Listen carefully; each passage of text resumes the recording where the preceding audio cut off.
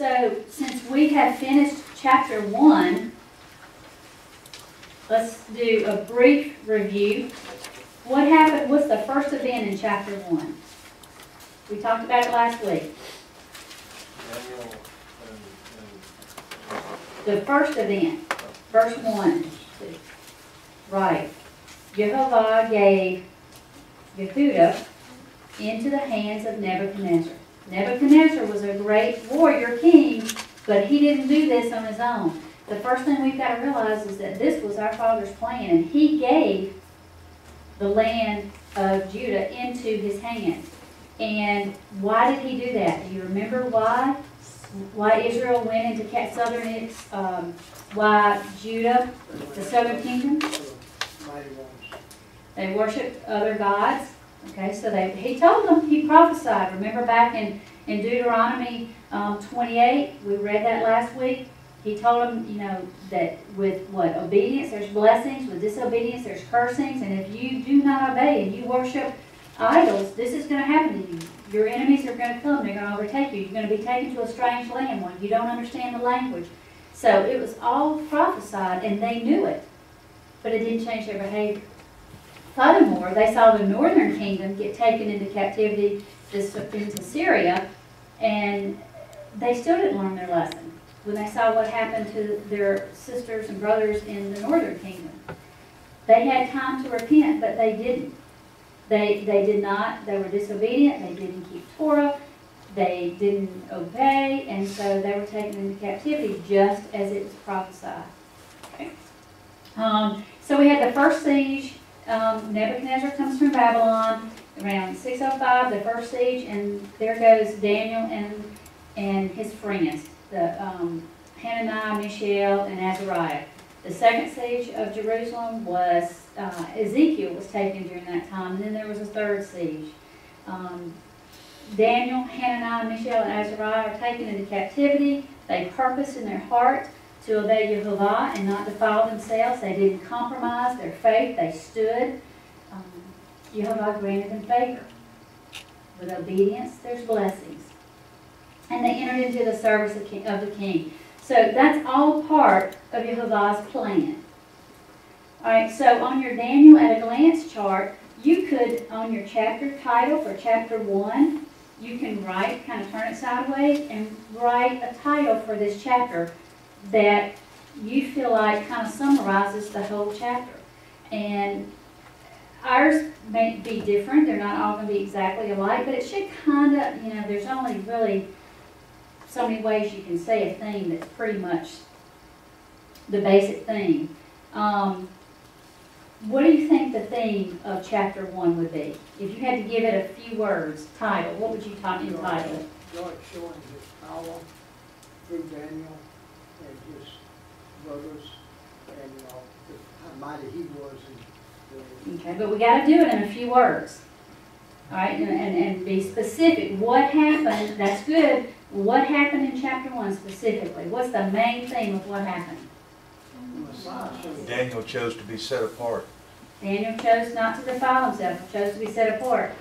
Anybody got something Daniel else? was in service to the king, or he, he's, he's one of the king's Okay. Servants, All right, Isn't so. the first So the reference whole thing is Daniel. to the Messiah? all right. And mine, I'm not saying it has to be like mine. Mine is Daniel and friends enter into the king's service. See how basic that is? That's the main theme of chapter one. So if you're witnessing to a youth and they want to know, how do I live in this world today when I'm being tempted and I'm in a pagan world, you're going to remember, oh, Daniel chapter one, he went into captivity. You're going to know right where to go. Because one, you've read it so many times, you have a good understanding of it, and you can fill out this chart, and you could take somebody to Daniel, and you could just pretty much walk through the whole book of Daniel with them. So the first chapter, Daniel and his friends enter the king's service, or Daniel chooses not to defile himself when taken into captivity. Something along those lines. Okay? So we're going to, as we go through, we're going to kind of fill this chart out together. But we're not ready to fill any of the rest of it out yet. Okay? All right, any questions about chapter one before we move on? All right, in chapter two, let's go ahead and get started. Go ahead. You just said Daniel and friends, Mhm. from one six, is it, are they brothers? Um, uh, spiritually brothers. They're not physically brothers, Okay. spiritually brothers. All right. Now, here we are. If you look at the colored area, that's the Neo-Babylonian Empire. So this is the area that Nebuchadnezzar's dad, and then he passed away, and then Nebuchadnezzar takes over the throne. And this is the area that is under captivity and considered part of the Babylonian Empire. What were some of the key words that you saw in chapter two? Some words that were important, some words that were repeated. Sovereign, very good. Anybody else? What's another word that you saw repeated? Dream. Okay. What else? King, wisdom and power. Daniel was always interpretation. Very good. What else? You guys are doing great. What about stone? Did you see that repeated several times? Or the word mountain? Daniel? The Chaldeans? Okay. And then as we go through, we'll look at some contrasts and- things of that nature. But let's go ahead and let's, let's dive into chapter two. Because my goal is that we want to look at further examples of Daniel's Torah observance, his obedience to the Most High God of Israel. We want to examine the facts about the king's dream and the king and the interpretation of his dream. And we want to understand that the God of Israel is the sovereign God over history. And he's going to use three events in the next few chapters to show King Nebuchadnezzar just who he is. Nebuchadnezzar thinks he's the end all. He's just captured Judah. He has taken the vessels from the temple. Um, he captured the nobles and the elites of Judah. He thinks he's Babylon, Babylonized them, and that's a word.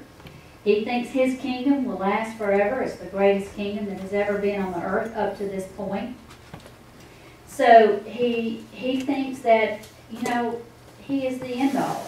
But our Father is going to show him there's there's another move on the board, okay, and that He's going to reveal Himself to Nebuchadnezzar, and we're going to see that in chapter two. He's going to reveal Himself to Nebuchadnezzar in a dream, by a dream and its interpretation, and then three, by rescuing his own children from the fiery furnace, and then in chapter four, by humbling Nebuchadnezzar till Nebuchadnezzar realizes his relationship um, to the God of Israel. So he's about to start revealing. Remember how um, Moshe revealed Jehovah to Pharaoh? Remember how he kept coming before him and, and he revealed him and Pharaoh said, yes, you know, he acknowledged that his God, but he never, you know, he didn't accept his God, but he acknowledged that he had a God, and then he acknowledged that God had power.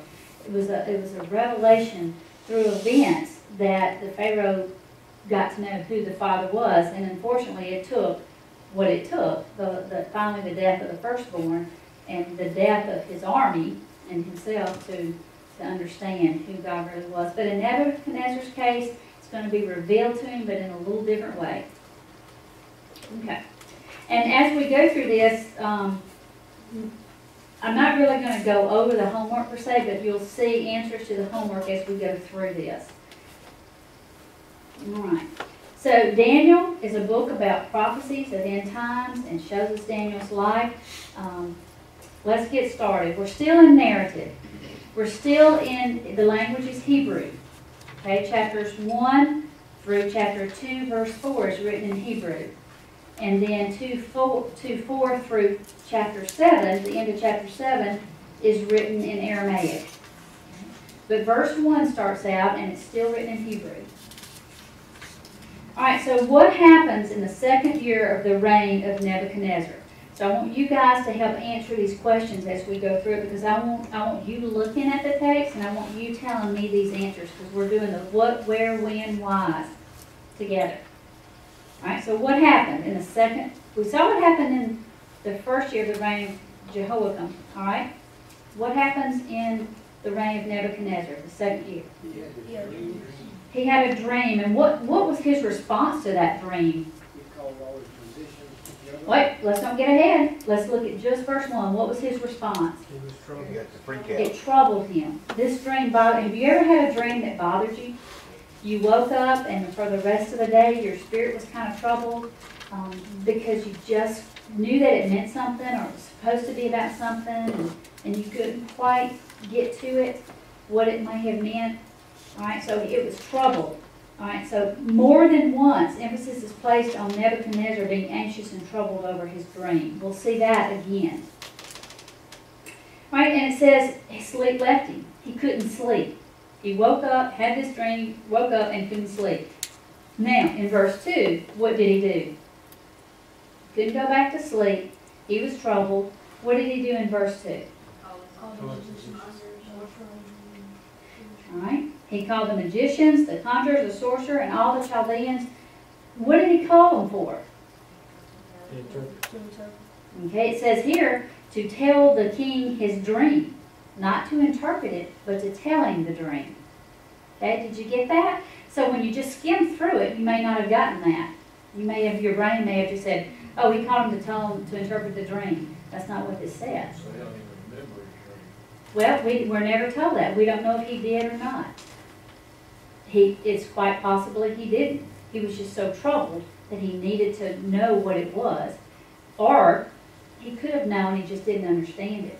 Right. Depending on what, to see if they were enough to truly And we're gonna see that in a few verses over. Alright, so was, were all of them called? Who was not here? Who's conspicuously absent? Daniel. Daniel and I'm gonna say his friends, okay? Um, they weren't there, so he didn't call all of them. He said he just called, uh, the magicians, the conjurers, the sorcerers, and the Chaldeans. He didn't call all the wise men, okay? And remember in verse, um, uh, remember in chapter one, Daniel was promoted in court and was given wisdom and was considered a wise man in the court now. Alright, so they came and they stood before the king. So here's the term of conclusion. He gave, the king gave an order, and what was the result? They came and stood before the king. Now, these seem very simple. Um, some of them, it's like, well, okay, that doesn't tell me a whole lot, but there are gonna be some that's gonna reveal, when you start getting used to looking for terms of conclusion these things, it's gonna reveal some really powerful truths to you. So, this is just helping you get used to that. All right, and in verse three, what did the king tell him? I had a dream. Okay, I had a dream, and my spirit is anxious to understand the dream.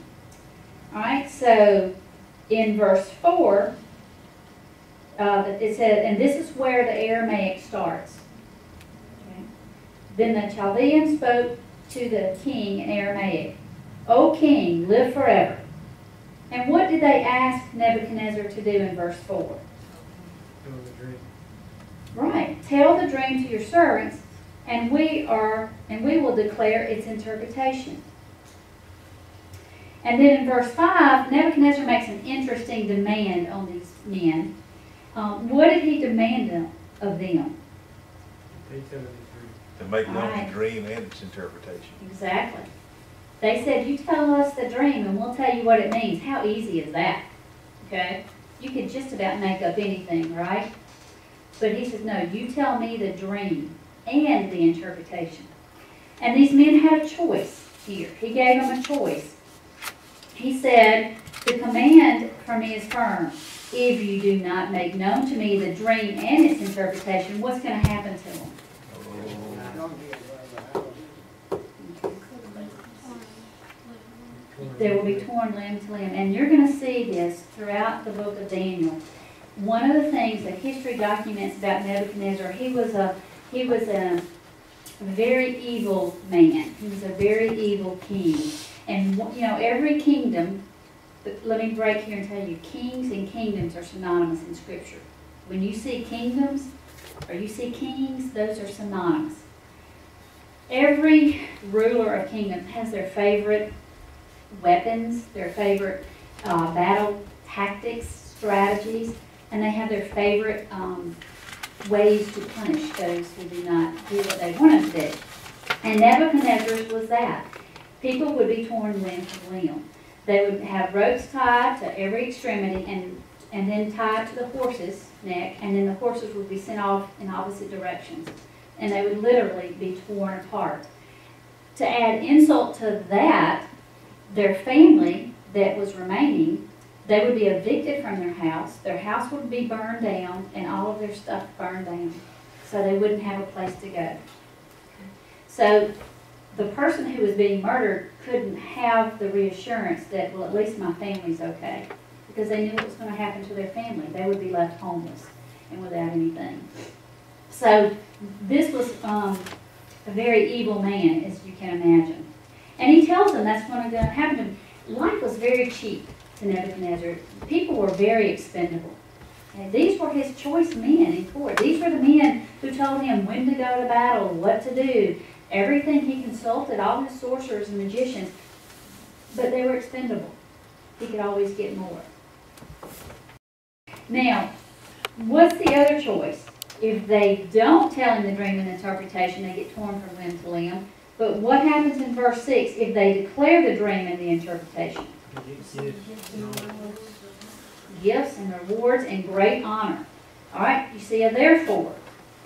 So because of these things, what is the conclusion? So you better tell me the, you better tell me the dream and its interpretation. Okay? And there's a contrast in verse 6. If they don't tell the dream and the interpretation, what's going to happen? Death. If they do tell the dream and interpret it, what's going to happen? Rewards. Okay. So in verse 7, what's the wise men's response? Yeah, a second time, they, they asked the king, please tell us the dream and we'll interpret it for you. And so in verse 8, the king says, you know, guys, this is my paraphrase, you're stalling, but I'm not budging. You're stalling for time because apparently you don't know.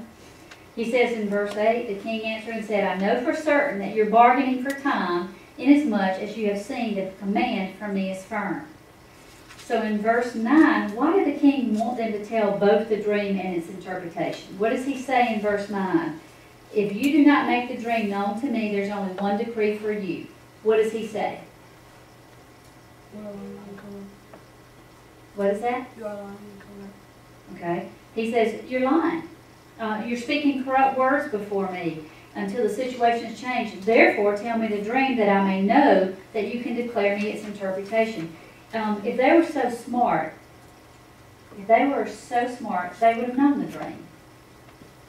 And he's saying, No, you know what? If you don't tell me the dream, if I tell you the dream, you can lie, you can make up things. But no, the command from me is firm. I want to hear the dream and then that way he would know the interpretation was correct. So that makes me think he probably knew what the dream was because if they told him the dream and it was the right dream as he remembered it, then he could trust their interpretation. All right, um, and then in verse 10 through 11, the wise men respond to the king and they come up with four things. Okay? They answered him, and what did they say? What's the first thing they said? No one on earth. So there's not a man on earth who could declare this matter for the king.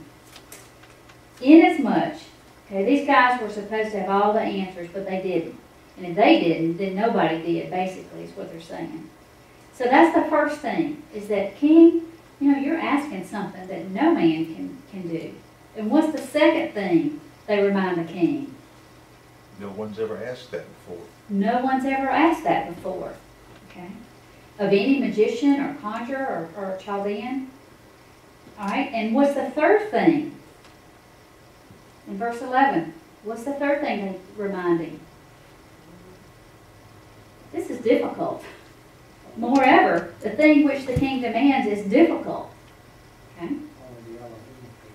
So, no man can do this. Nobody's ever asked a man to do this.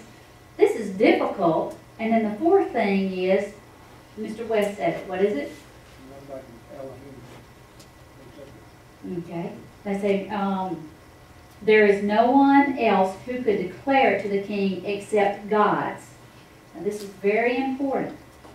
Where, tell me what kind of gods could declare this in verse eleven? I got good or could not? Could. One and only God. Okay, take it straight from scripture. There is no one else who could declare it to the king except God's, whose dwelling place is not with mortal flesh. In other words, out of all of the actually thousands of gods in Babylon, there was not one of them, they're telling Nebuchadnezzar, that could do such a thing as what he was asking. If there is a God that could do that, he's not one here that's with mortal flesh. Okay?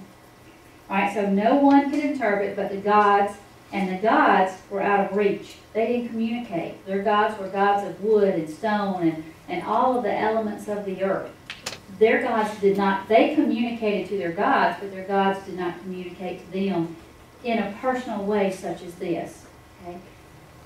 And they may have things like signs, like, okay, if the sun shines today, then the sun god is favoring us and we're supposed to do this. But there was no direct communication from gods that could tell them how to, what a dream was. So right there, they're showing that they're liars and they're condemning themselves. They're, they're, they're casting a light on the fallacy of their own gods, their own worship system.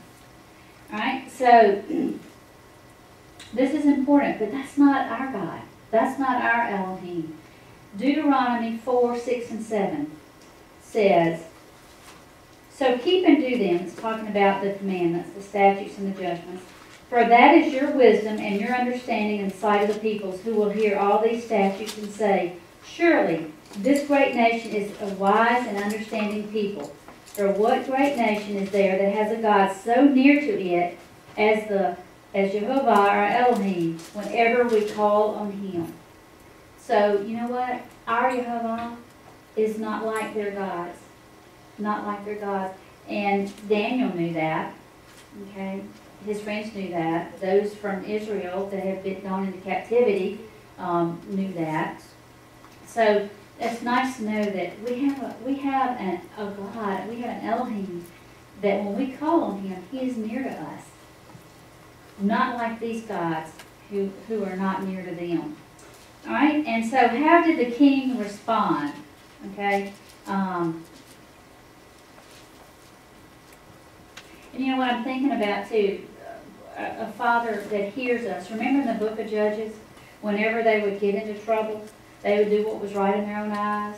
Then there would be judgment. The enemies would come in and ravage the land or, or do or, or, or suppress them. What would they do? They would cry out. And what did the Father do when they would cry out? He sent a deliverer. Okay? He sent a judge to deliver them. When they were in Egypt and they cried out, what did he do? He sent a deliverer. So he hears us. He hears our cries. All right, so in verse 12, what did the king do? Got mad and did almost destroy it. Okay? Destroy how many of the wise men? Oh. Not the ones that were there that told him that. All. All of them. So now who did this include? Daniel. Daniel, okay, and his friends, okay? So in verse 13, who did the decree include? Who did they look for? Okay, so they weren't there, so they went out to look for them. Right? The decree went forth that the wise men should be slain, and they looked for Daniel and his friends to kill them. All right, and they remember in chapter one, they were there was none like them. They entered in the king's service. They were considered wise men in the service. So in 14, what was Daniel's response? And, and let's pick it apart and let's look at the different words. Daniel replied with what? We want to see what we can learn from his life on how we can respond in a very fearful, difficult situation. All right, mine says discretion. What is yours says wisdom? Mm-hmm. What is what? Give me some more translations. Daniel replied with what? Discretion and discernment. Discretion and discernment. What is discretion? He didn't, the man, he asked Okay. reasonably. How, how, what, what would be discretion? Discretion would be like a cautious, responsible action. Would that kind of define discretion? What are some other things, discretion? Can you think of times? Reason. Reason, Can you think of some times in your life where you used discretion and you're so thankful that you did? Can you think of times in your life where you didn't use discretion and you, now I'm getting personal, and you just charged ahead and maybe you whipped out that spiritual sword and slashed somebody to pieces without stopping and thinking and using discretion? All right, so he replied with discretion and discernment. What is discernment? Understanding. Thought. Thought? Yeah. Mhm. What about going beyond the obvious? A wisdom that goes beyond the obvious. And so he replied with discretion and discernment to Arioch. And remember who Arioch was? He was like the chief, chief uh, Chaldean guard. He was the captain of the king's bodyguard who had gone forth to slay the wise men of Babylon. Okay. When evil is surrounding you, it's always best to not get on the same level as the evil.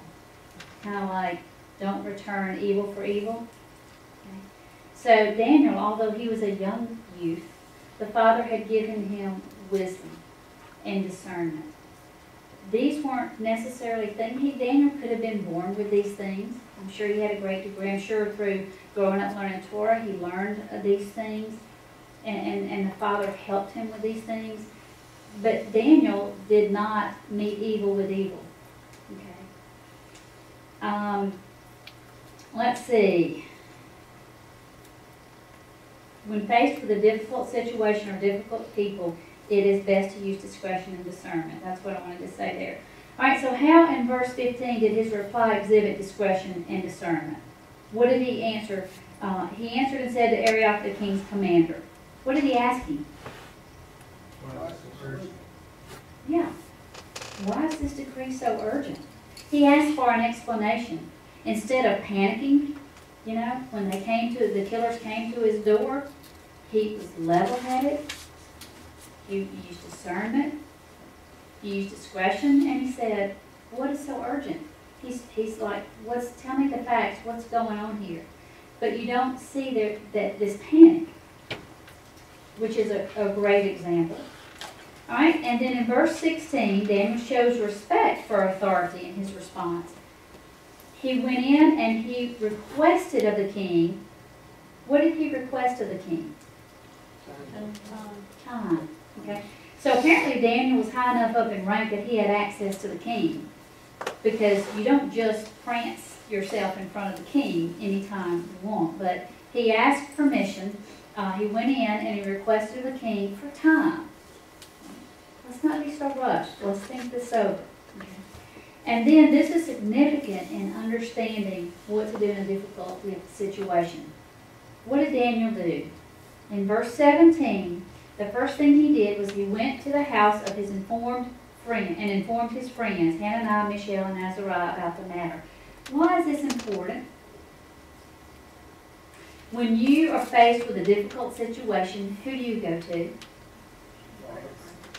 You go to those people who understand the Father, who understand His Word. You go to people that you know have reason and discernment. You go to people who know that they'll pray with you. Um, people of integrity. And so he went to his friends, he told them what was going on because it involved them. and so why did he go to them? Did he go to them to say, y'all got to tell me what I need to do. We got to get out of here. We got to figure out a way of escape. Did he do that? He went to them in order they might request compassion from the Elohim of heaven concerning this mystery. So he said, so that Daniel and his friends might not be destroyed with the rest of the wise men of Babylon. They didn't want to get killed. They didn't want to be killed. So Daniel's example, he replied with discretion and discernment. He asked for an explanation. He requested time. He went to his friends to go with him before Elohim. Um, he went to Elohim for an ultimate solution, and together they prayed. That's an example. That speaks to me. How many times in my life has my world fallen apart and I've just don't go to the Father first. I, I, I, I don't go to my prayer to come pray with me right now. I, we need to go before the Father. First, you got to think of, oh my goodness, what am I going to do? What am I going to say? Where am I going to go? Or, or you go and tell people, but you're not really seeking a solution from the Father. You're just seeking man's advice. So this is a wonderful example for us. Okay, go to the Father first. That sounds like a no-brainer, but how good are we at doing that? Right? And what was the result of the prayer in verse 19?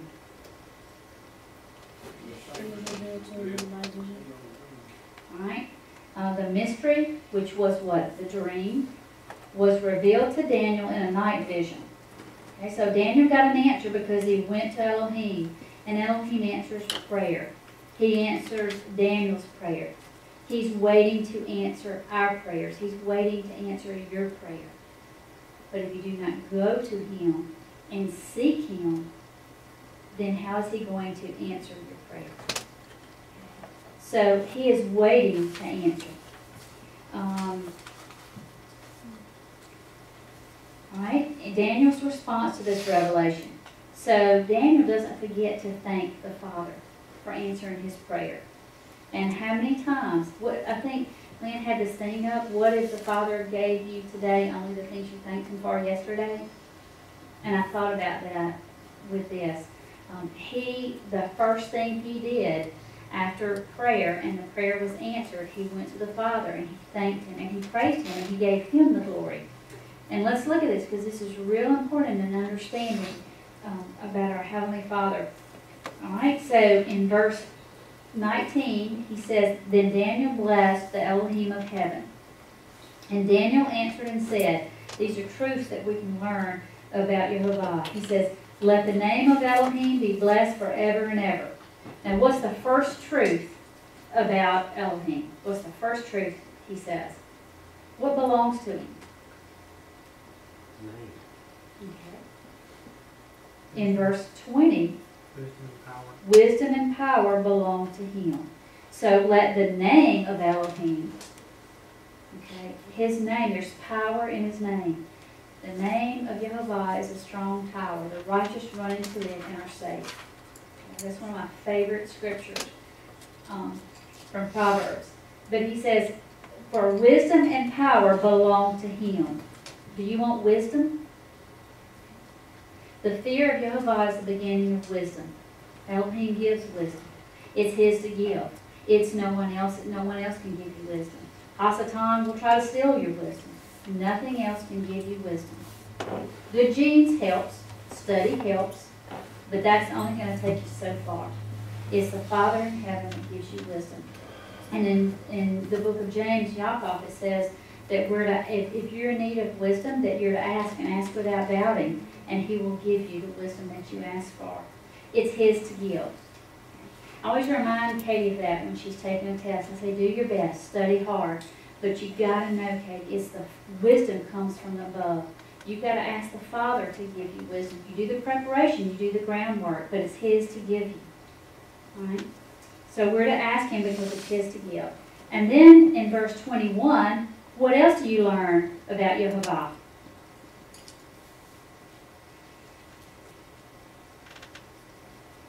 Nothing? Change the time of the season. All right? It is He who changes the times and the epochs, or the seasons. All right? It is not Mother Nature. I just wanted to give you a clue. There is no such thing as Mother Nature. Flash, flash. all the. It, or Father Time. It is the God Most High, El Elyon, that changes the seasons and the times. And what does He do in verse 21? Removes king, establish king. He removes kings and establishes kings. Okay? That's important for us to understand. There is nothing on the face of this earth that he does not have control over. He sets kings up, he removes kings. His purpose is going to be brought about. And in chapter 1, we saw that in verse 2 because he gave Jehoiakim into the hand of Nebuchadnezzar, did he not? And that's just a good example of that. All right, and then what does he give to wise men? Wisdom. Wisdom. All right, and that's Daniel and his friends. He gave them wisdom. And he gives knowledge to men of understanding. What's the difference between wisdom and knowledge? Is there a difference? Wisdom is how you use knowledge. Okay, that's a good, did you hear that? Wisdom is how you use knowledge. Knowledge is a, is, um, it's, it's an, it's an understanding, it's a gaining